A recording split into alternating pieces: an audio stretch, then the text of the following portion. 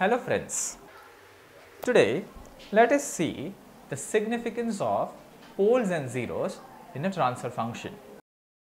Now for example let us take a transfer function as z into 2z plus 1 divided by z plus 1 into z plus 2. Now, this is a given transfer function in which I have numerators and I have a denominator. So, zeros are the roots of numerator polynomial whereas poles are the roots of denominator polynomial. Okay? How to get roots? Equate the numerator to 0. So, when I equate the numerator to 0, I get z into 2z plus 1 which is equal to 0. So, now this product can be going to 0 only if z is equal to 0 or 2z plus 1 goes to 0. That means z is equal to minus 1 by 2. Similar way I do it for the denominator polynomial I get z plus 1 into z plus 2 equals to 0. Then z plus 1 can be equal to 0 or z plus 2 can be equal to 0. That means z is equal to minus 1 or z is equal to minus 2. Let us take all the numbers and plot on a z plane. So, my z plane have an x axis which we called it as real part of z and we have a y axis to which we called as imaginary part of z. So, the imaginary part of z that is the y axis is written as j, the denominator part is minus j. Okay. On the x axis we have all real values and on the y axis we have imaginary values. Z domain always works with circles. So, in a Z domain we will have all circles. There is a very important circle which we called as a unit circle whose radius is equal to 1. Okay. Now, before plotting and understanding the physical significance of poles and zeros, let us briefly look at how Z plane looks like and what it is made up of. So, the basic constituents of Z plane is given as Z is equal to R e raised to j theta. So, it is a very familiar kind of a representation we call this as a polar representation. This is a polar representation of a complex number. So, Z is a complex number. So, where R denotes the radius or sometimes we also called it as an amplitude and theta is denoted as the angle or sometimes we refer to as a phase. So, we have two entities or two variables in z one is called as r and the second is theta. So, let us make uh, some plots with the varying r and let us see how theta is reflected. So, in general if I wanted to draw then let us select for r equals to 1, r equals to 2, r equals to 3. Okay? Radius cannot be negative. Radius if it equals to 0 that means it is a center or a point. So, if we have radius equals to 0 then it will reflect a point whereas it cannot go be below 0. So, there is no question of r taking a value as minus 1, minus 2, minus 3 because radius of a circle cannot be negative. So, now my r let us take a value as 1, 2 and 3. So, for r equals to 1 my let us say that this is the circle then for r is equal to 2 let us say this is the circle and for r is equal to 3 let us say this is my circle. So, the blue curve shows that there is a radius r of r equals to 3. red curve shows that the radius is r is equal to 2 and finally the black curve shows a radius at r equals to 1. So, we have three circles one with r is equal to 1, red with r is equal to 2 and third is r is equal to 3 that is a blue curve. Now, where is theta? This is about r. Where is theta? Theta is the angle made with respect to the x axis that we can say as real part of a z. So, this is my theta. So, with respect to black, this is my theta. With respect to blue, this is my theta and with respect to red, this is my theta. Okay. So, we have r equals to 1 and we have certain theta. Let us say I have a point, I have a point P.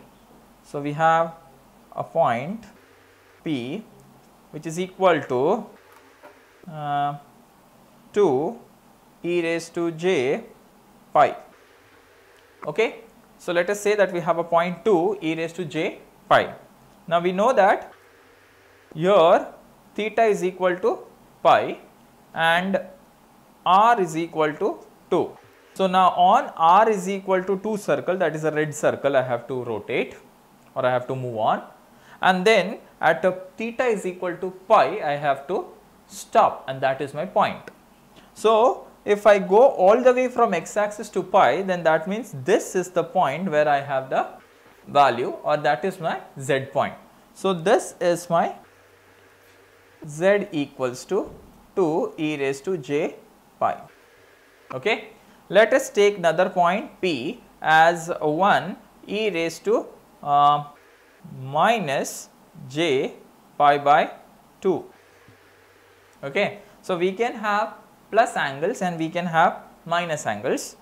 Let us stick to plus angles and avoid confusion. So, let us take this as plus j pi by 2. We might have negative angles. For negative angles, we have to go down from the x axis and we have to count the reverse way as from the previous thing. So, we are moving uh, anti-clockwise for positive angles and we will be moving anti-clockwise when we will be considering negative angles. Okay. So, uh, the point 1 e raised to plus j pi by 2 will be 1 that means I have to move on black curve and uh, uh, e raised to j pi by 2 I will start from here and come to e raised to j pi by 2 which is this point. So, this is my z equals to 1 e raised to j pi by 2. Okay. Similarly, if suppose I have a point P which is 1.5 e raised to j pi by 4. That means now it is not on black curve, it is not on red curve because if I move on black curve then that point will go as r is equal to 1. If I move on red curve that point will go as a, a r is equal to 2, but my r is somewhere in between 1.5. So, that curve or that circle will be in between 1 and 2 which I make using a dotted line. So, this is nu r. So, of this circle now we have r going as 1.5 and my theta is pi by 4. So, I should not come till this point because this is pi by 2, this is my pi, this is 2 pi by 3 and this will be 2 pi, right. So, I will come, this is 2 pi by 2 sorry. Now, I will come on uh, from here to here it is pi by 2. So, I have to stop somewhere in between. So, let us assume some direction and take a point over here. So, this is the point z equals to 1.5 e raised to j pi by 4. Okay. So, this is the way we need to represent a point on z plane. So, we might have a complex number, we might have a real number. If we have a real number that will all fall on x axis if we have all imaginary numbers, they will fall on y axis and the numbers which are complex like real part and imaginary part, they will fall in between anywhere in the z plane. But always remember there will be a radius associated to the point and a phase or angle associated with it. An angle will always be measured with respect to x axis and not with respect to y axis. This is how we represent a point on a z plane.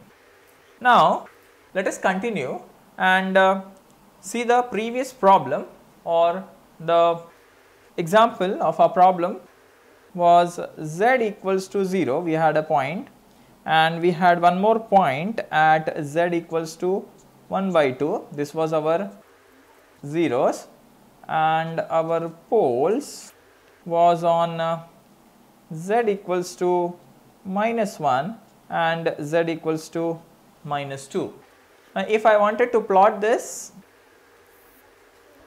I want a circle with radius 0 because if I compare this for with r e raised to j theta then this will be radius is 0 that means I will have a simple point it is a 0 so I will draw it using a circle. So this is z is equal to 0 point that is the origin. My x axis is the real part of z and y axis is the imaginary part of z. Now the next point is minus 1 by 2 it is a real value. So if it is a real value then it will fall on x axis and then when it will be on x axis uh, it will be minus that means it will go on this side because this is a negative axis then it will come as minus 1 by 2 which is minus 0.5 which is far inside the one unit circle. Now there is a circle which passes through this 0.5 which is minus 0.5. So that is what I am drawing using this dotted line. So, there is a circle and on that circle I have moved uh, about pi in the angle and that I got as minus 1 by 2. Now, the poles, oh I am sorry, the value will go as a circle. Now, the poles are at minus 1 and minus 2. So, minus 1 is more negative as compared to minus 1 by 2. So, it will come somewhere around here minus 1 and now it is a pole. So, I have to draw a cross mark and there is a circle passing through this point with the radius of r equals to 1. There is a circle this has radius r equals to 0.5. Now, this minus is not for radius, this minus is with respect to the angle. I got the angle as e raised to minus j pi. Okay. So, that will give me minus 1 because if I write e raised to minus j pi that can be written as cos pi minus j sin pi. Sorry we have plus so plus cos pi plus j sin pi. Now cos pi is minus 1 j, j sin pi is 0 so that will give me minus 1 so this 1 by minus 1 by 2 you can write as okay the same thing I can represent it as 1 by 2 e raised to j pi. Okay, it is one and the same. This minus is with respect to phase and not with respect to radius because we have seen previously that radius cannot be negative of a circle. So, this minus is for the phase and not for the radius. Radius is always non-negative number. Okay. Now, this is r equals to 1. Now, the third value is as minus 2. So, I have further negative value as minus 2 and this is the circle which will pass through minus 2. So, this is at r is equal to 2. So, I am purposefully not writing r is equal to minus 2, I am writing it as r is equal to 2 because r cannot take a negative value. Now, how does this poles and zeros really affects my h of z and why should I calculate the poles and zeros of a system?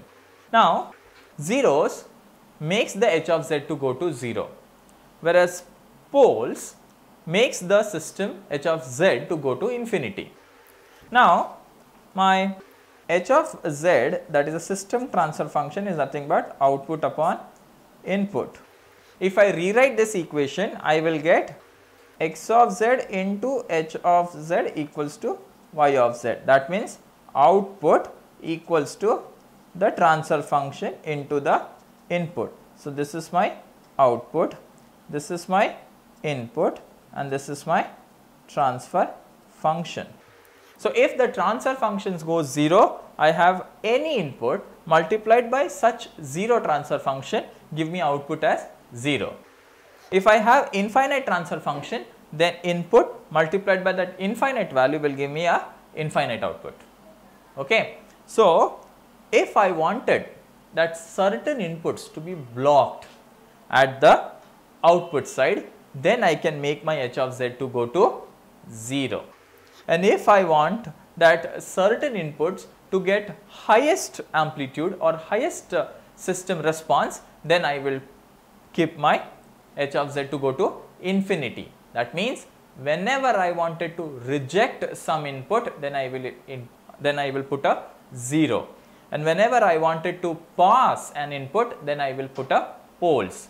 So, poles are, are the representatives for passing certain values whereas zeros are the representers of rejecting values. So, poles passes the input whereas zeros reject the input. So, if I wanted to reject certain inputs I will have zeros and if I wanted to pass certain inputs then I will have poles. Now, pole and zeros might be real or might be complex.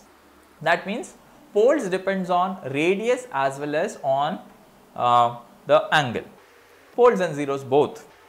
In a system transfer function, the angle or the phase that is z is equal to r e raised to j omega is been written where omega is the angular frequency. So, what I did I replaced my theta with respect to angular frequency which is omega okay. Now, this omega is called as digital angular frequency okay and the unit is radians. Please remember the unit of digital angular frequency is radians and not radians per second. So, whenever you write a unit for omega, it will always be radians. So, what will be the basic limit on omega? If I have this r equals to 1, then z becomes equals to e raised to j omega. What are the maximum values that omega can take? The minimum value that omega can take is the 0. That means the point is on the x axis and the maximum value of the omega can be pi. So, the limits on omega is 0 to pi 2 pi. That means it will go to 0 that is on x axis and complete one circle will be 2 pi. So, it is going from 0 to 2 pi. Or I can write it half the way. I can go from year to year it is pi. And if I go in this direction that is clockwise it becomes minus pi okay. So, I will have either 0 to 2 pi or same I can write it as minus pi to pi. So, the limits on omega here is 0 to 2 pi and minus pi to pi okay. So, when I say omega, omega is an angular frequency limits on omega is 0 to 2 pi or minus pi to pi it is measured in radians. So, when I say a 0 at a, certain point for example, z equals to 1 e raised to minus j pi by 2, if I draw that point on z plane let us say that it is uh, this becomes uh, plus j with pi by 2 this is my pi this is I write minus j pi by 2 and there is 0. So, now I am putting my constraint on plus pi and minus pi. If you write it with respect to um, 0 to 2 pi then it will be all pluses there is no minus angle in that case. Okay. Now, uh, 1 e raised to minus j pi by 2 this radius is 1 and I have my 0 point at this value. So, this is my 0. Okay. Now, let us say that I have a pole at ZP that is P stands for pole at uh, 1 e raised to 0. So, I have a pole at omega is equal to 0 which will be over here. So, this is my pole and let us arbitrarily I choose a pole at some distinct value. Let us say this to be my omega 1, this is my omega 1 with the minus sign and I have a zeros which is at minus omega 2 and omega 2. So, then omega equals to pi by 2 have 0. So, it will get rejected. That means the frequency pi by 2 will get rejected. Now, omega equals to 0 have a pole at this frequency. So, it will get passed through. So, my pi by 2 that is 90 degrees frequency pi by 2 frequency will get rejected whereas 0 frequency will be passed.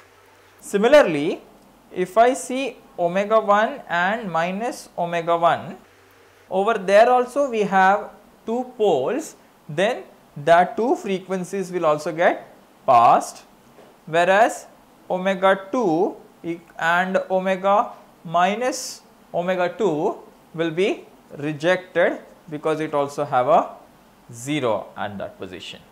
So, whenever I wanted to reject a frequency I will put a 0 and whenever I wanted to pass a frequency then I will put a pole. So, in this way a transfer function affects the frequency component of a given uh, input. So, whenever I wanted to reject an input frequency I will put a 0 and whenever I wanted to pass a given frequency that time I will put a pole. So, that is how we use the poles and zeros to either reject a frequency or to or pass a frequency. Thank you.